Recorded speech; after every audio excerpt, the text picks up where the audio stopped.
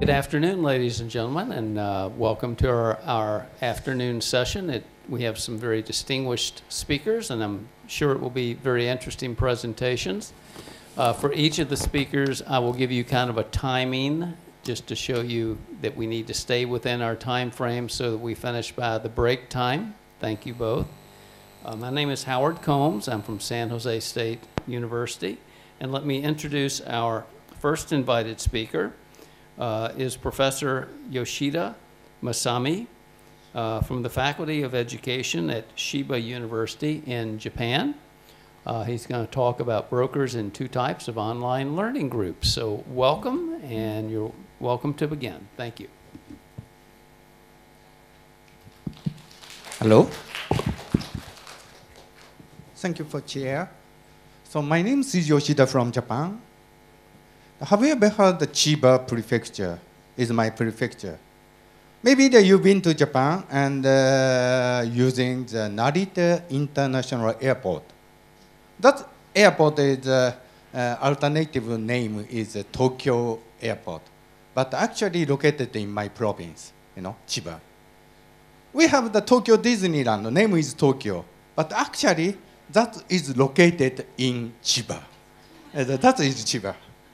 So that today I would like to introduce about uh, uh, group activity. You know, I know that at this moment in this conference we need to discuss about the MOOC. Also in Japan we have the MOOC, but the situation of the MOOC in Japan is a little bit different from the Thailand and the other countries. Basically, in Japan, we have the Department of the Lifelong in, faculty, uh, in Educational Ministry. You know, they have the strong function. For example, the, we have the Community Center for the Lifelong Learning. The number of the community center is just the same number as the secondary school. You know, we can see that everywhere. So the totally separated. Also that we have the like uh, retraining, especially the uh, vocational training under the Ministry of the Labor. Now they have the strong function. Also that we have the license system, you know, totally the license. For example, the school teacher. School teacher should have the teacher's license, something like that. I have the license of the science teacher. But I cannot teach the mathematics because I have not license, something like that. You know, very straight.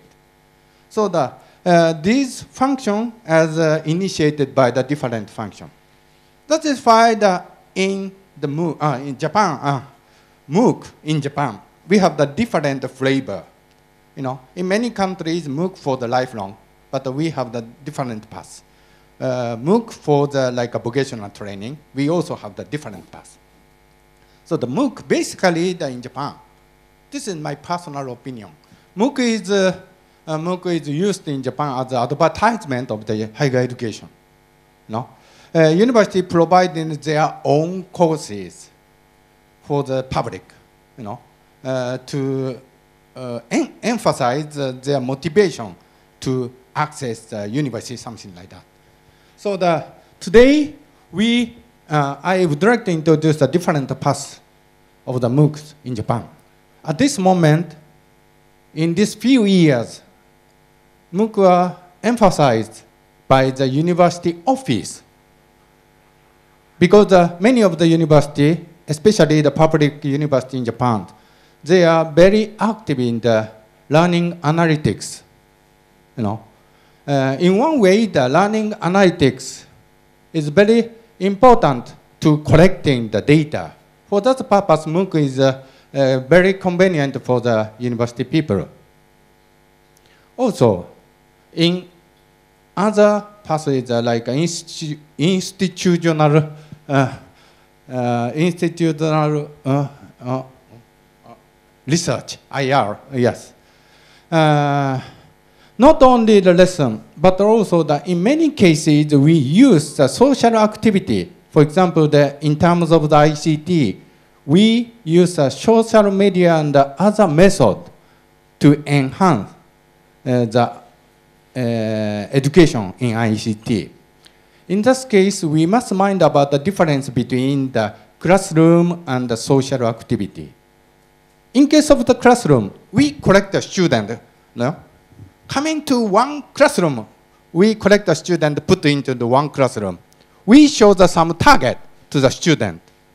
After then, we collect in the data. All the data will follow the Gaussian distribution. You know, so key is to collect the person and pack in the person in one room and to show the target. So the distribution is the Gaussian distribution. In other way, we use uh, Twitter and Facebook and the social media in the classroom. You know, people is a social people, and the students then enjoy themselves or they would like to collecting something new, unknown information from the social media. In this case, you know, activity of the people will follow the Gaussian distribution, totally different. But if we using the both activity in the institutional research, you know, we must mind about the difference of the distribution. For example, the, from the view of the university office, they want to collect the variety of the data, not only the classroom, but also the like a social activity. Also, that they try to use a, a computer for collecting and archiving the data, and try to uh, using the method of the like uh, analysis of the big data. In this case, we encounter the severe problem of the you know, difference of the distribution. So that today I would like to introduce uh, two different uh, idea. Individual learning is a red color, okay? And the communication, blue color, in the group activity. When we conducting the group activity in the university lesson, you know, there's a two bilateral activity will happen in the group activity. In one side, in the individual learning, in other side is the communication. You know, so the both activity is, I think, uh, is not separated. No, uh, both activity would be the coexistence. Oh, okay. So the uh, this is a bilateral view.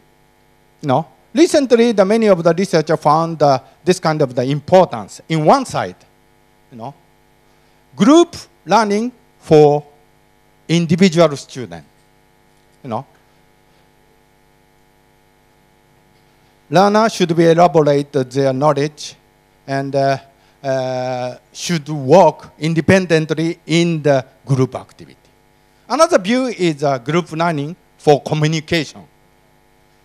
Learner should communicate with a peer or users, you know, to elaborate their knowledge.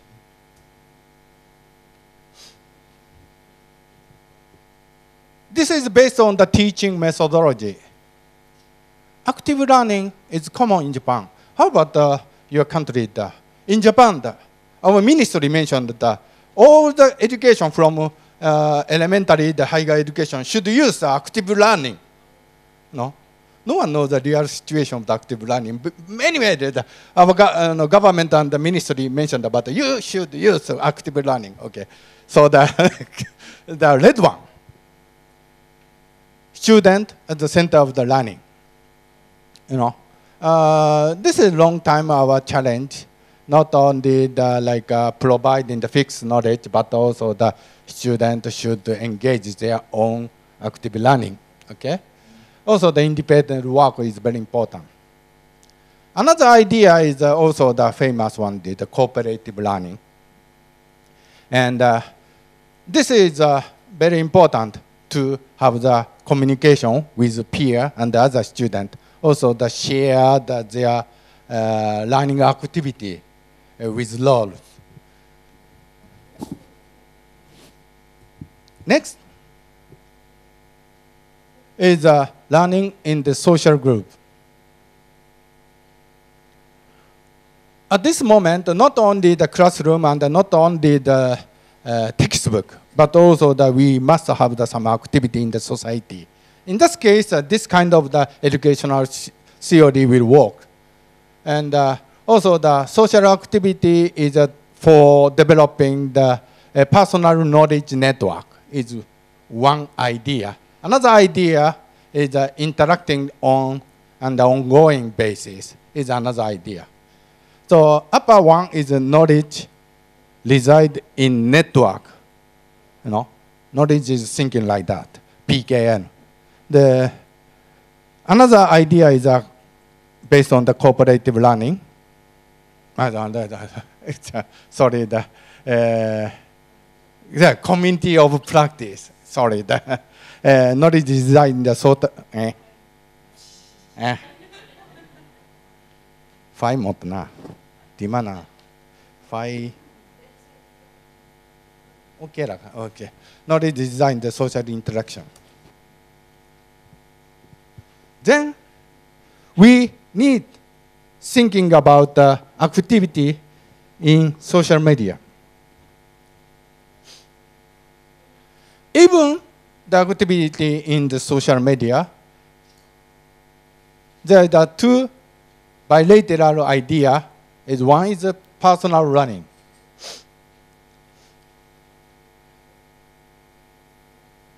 Also, the recently, the frequently that we introduced the social media for the uh, enhancement of the university lesson as well.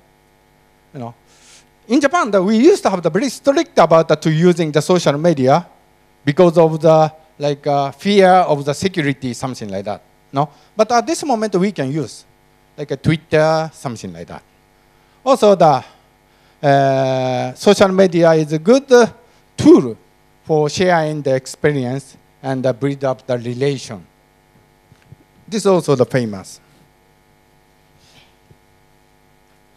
The next is an online learning group. Also, the, even the learning in the online. Also, the, we can see the bilateral uh, benefit to use uh, self-discipline and the self-exploration, and also the discussion and the communities.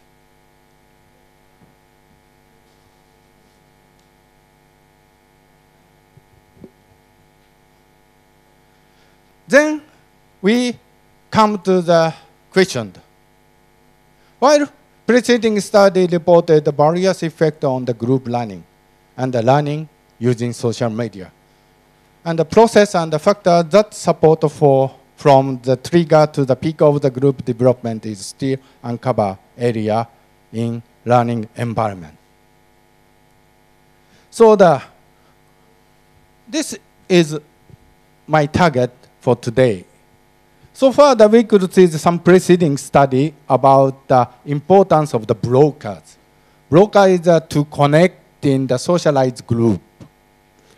Oh, I must say one thing, you know, in case of the Gaussian distribution, you know, if we see the group under the Gaussian distribution, group is uh, almost, uh, you know, uh, almost the same numbers of the communication, like a fair communication. But if we see the uh, group in the uh, like a social media, like uh, under the power law distribution, group is totally different from the Gaussian distribution. We can see the some core group, you know. Also, the we can see the many isolated people, you know. So communication is not fair. So the, in this case, we must see the importance of the broker that connect the, between the group. Coordinator is that one. Is a mediating user who transfers the message to another member. If the group have the coordinator, communication inside the group will be enhanced. And the representatives. A user representing the entire subgroup. He transfers the message to another subgroup, uh, subgraph. Also, the group usually isolated in the social media. It must have some connecting person between the group. Gatekeeper. a user accepts the message from another group and transfer it to own subgraph. You know, some smart user in one group who can collect some important information from the outside group and introduce to the member. And uh, itinerant broker located in the different ah, okay, now located in the different sub, subgraph and uh, connect user within the same subgraph, like this. People located in the other subgraph, but uh, that will enhance the communication in the one group, something like that, itinerant broker. Next is the liaison. Connect the user of the different subgraphs and transfer the message beyond its own subgraphs. So the, that is the famous five types of brokers. It's usually the coordinator is easy to generate, and uh, liaison is difficult to generate. There is a difficulty among the uh, setting up the coordinator uh, uh, brokers. This is an example. From now on, I will introduce some real example already published in the academic uh, journal. Uh, the uh, example of the uh, China. We, we have the cooperative uh, joint study between Japan and China. You know, uh, we have the, some difference of the teaching strategy in the university. In my case, I use the social media for enhance the personal learning of the student. The student can use and uh, like a Twitter and a Facebook and uh, some uh, social media freely to collecting the something they don't know. But in China, they think like, like uh, uh, social media is used to enhance the communication. Also that they mind about the control of the student in the social media. So the first, they selected the member only student. That means that they use the closed member the social media. First, they limit the member just for the student. Uh, you can see the black one, core is a student, is the initial stage. Then teacher ask the student to expand, expand their communication to the, their friends. Okay? The second, uh, you can see the kind of the star, you know. Small dot is a friend. No? It is easy to communicate among the student in the classroom. But uh, it's not so easy to communicate among the friend of friend, you know. That's the style of the China. So, so that this is an example of the blue communication practice. Okay? So the ego network of the student. We select one student, and uh, it is easy at the initial stage. It is easy to uh, develop the egalitarian, egalitarian network by the coordinator. Because all the member is a student, they are known. Also the meet uh, every day's lesson. It's easy to connect. But the next one is expanded. Once the teacher asks the student to include their personal friend in the network, it's quite difficult. This is the aristocratic uh, network. In this case, role of the coordinator is totally different. The first one is a coordinator, is a uh, broker is coordinator. Next one is a uh, broker is a representative and the gatekeeper. You know. Uh, also, the under the guideline of the committee, uh, committee of practice, it must have the, some assigned uh, person to have the role of the community maintenance. This was be done by the uh, coordinator uh, broker. This is a famous four steps of the stage of uh, uh, COP, community of practice. So the okay, no? okay, sorry. so the we can see the first step. Also that they have the story. First, people in the group easy to communicate. and uh, uh, easy to uh, uh, easy to communicate and uh, easy to exchange their idea. But uh, after the like uh, plateau of the communication, the, they have the some uh, decreased uh, uh, chances of the communication and then disappeared. And final, uh, if group have the enough chance to enhance, enhance uh, the member, uh, it's possible uh, re- revitalize the uh, community uh, communication among the member. So the next is an example.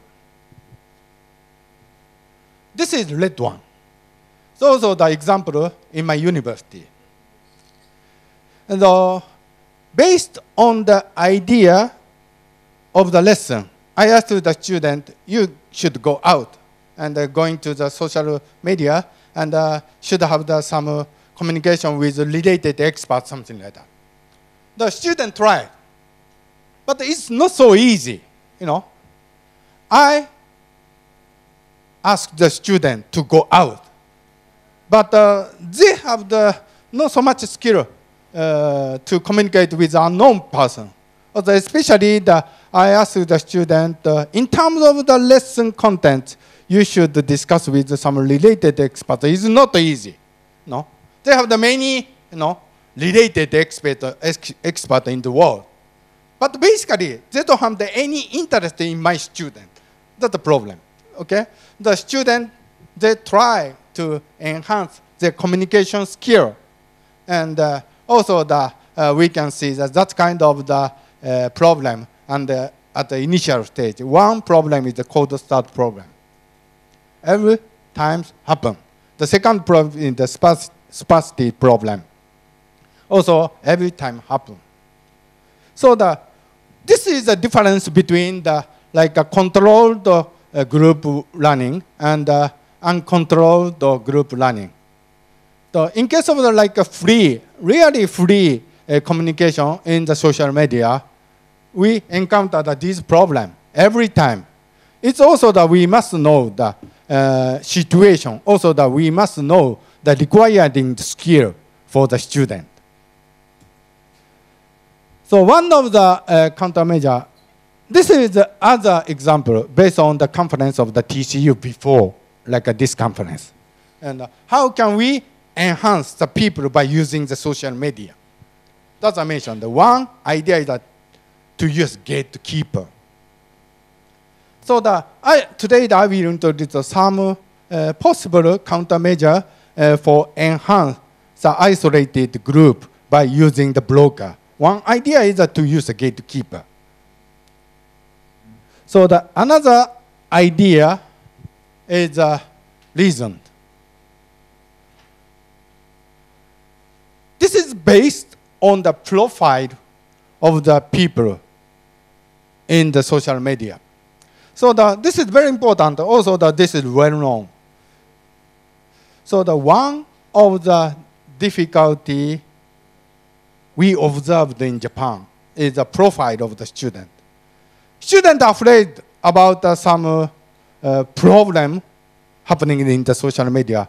Then they developed a new ID for social media, for the lesson.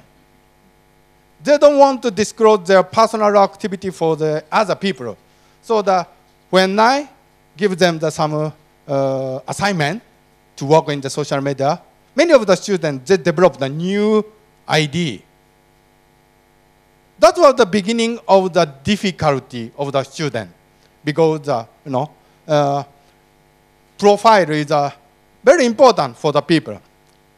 Based on the profile, they will select the uh, broker, they will select the contact person, something like that. So the, that is the next question. You know, maybe the, we now make the study with the student. How can we using the social media in the lesson, in the uh, classroom?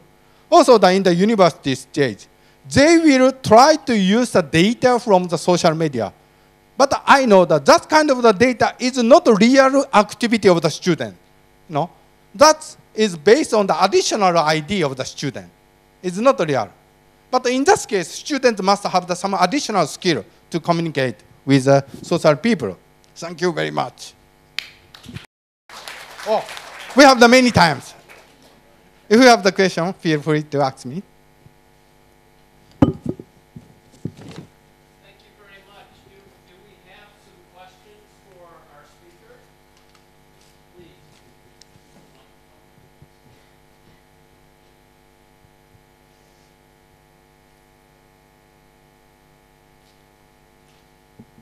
Uh, thank you, Professor Yoshida. Thank you for your presentation. I'm uh, uh, Professor Wasa from Assumption University in Thailand. And, uh, you know, social media analysis, uh, social network analysis is one of my, you know, fascinating idea of, of uh, research. Uh, I think when you address uh, the, uh, I'm, I'm not sure whether you address the, the cultural difference between China and Japan because it, it seemed like in Japan, social media is, the way that they use social media is quite different from, I, I would say, the rest of the world, right? It's very unique. It, much like in, in Thailand, we have very unique way of using so- social media. You know, everything that we have, we turn into like a, like a commerce platform. Mm.